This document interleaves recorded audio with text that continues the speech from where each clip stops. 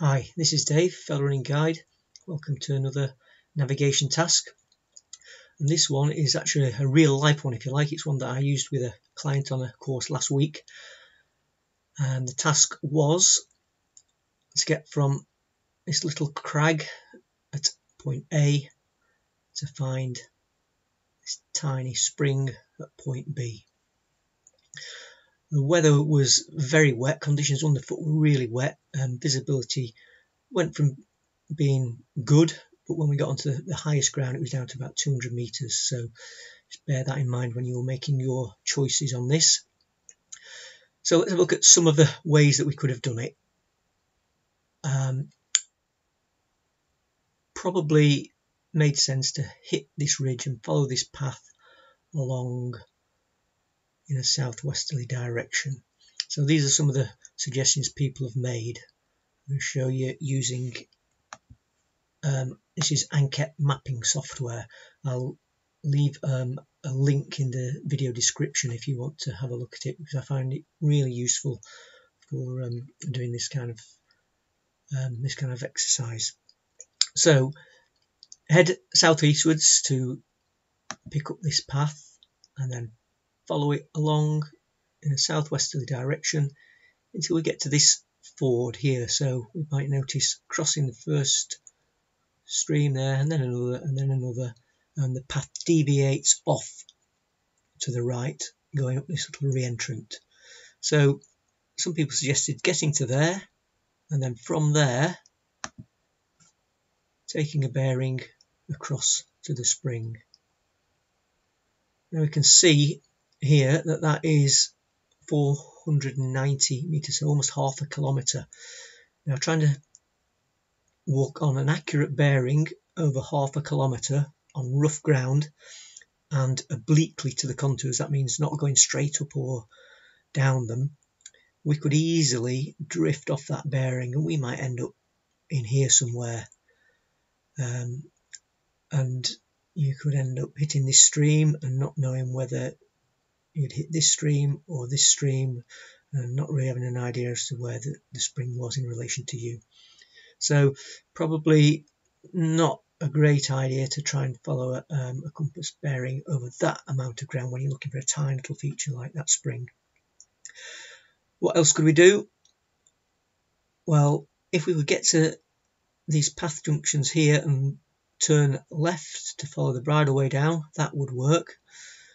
One thing you need to bear in mind with this is this green dashed line is a public right of way.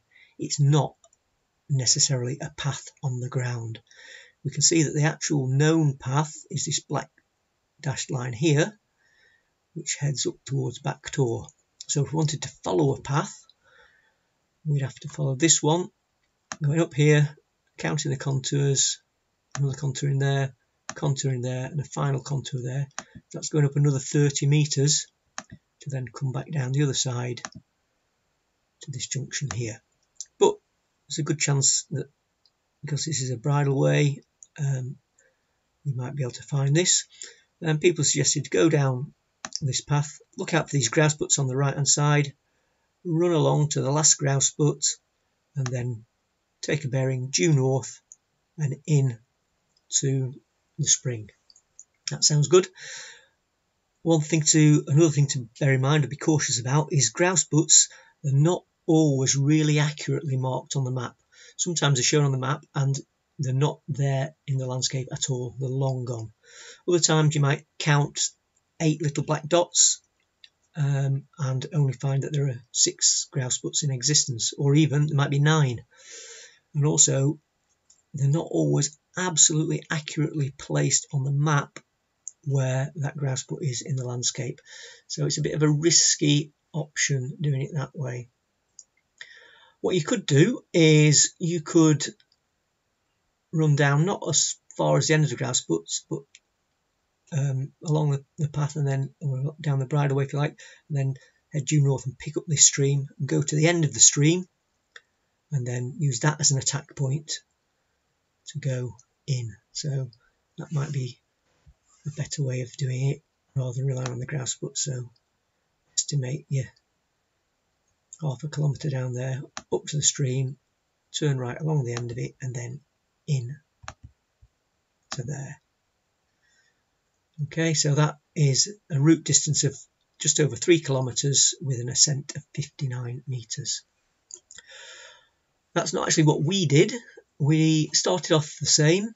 When we got to this ford here, we then went just east of south up to this high ground, this high point here, and then took a bearing southeastwards, knowing that we'd cross the first stream and then roughly in 150 metres hit the second stream.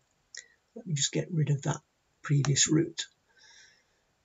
Yeah, aiming for this bend in the stream and then knowing we turned left downstream for approximately 150 metres and then using this end of the stream as an attack point to take a bearing to the spring. Now that all went well until we got to what we thought should be the end of the stream, but because the weather had been so wet, the stream carried on, um, and we paced and we thought we've gone way over 150 metres now and there's no end of the stream. It looked like it was going to continue down and join this one.